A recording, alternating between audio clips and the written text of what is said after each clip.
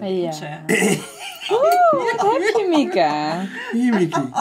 Oh, die kleine hel. Voorzichtig, hè? je ook Nou, als ze dat eten? mooi vinden. hè. Oh! Wil je deze nog een keer? Anders geven we die, die lichtere, deze. Die is niet zo zwaar. We hebben gezellig bij oma gegeten, hè, Mickey? Ah, skaddebek.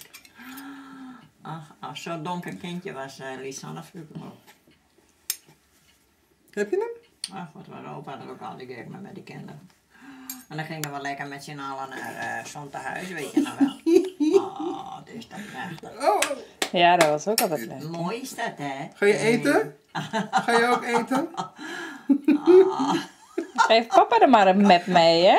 Oh, oh, oh, die kleine kop.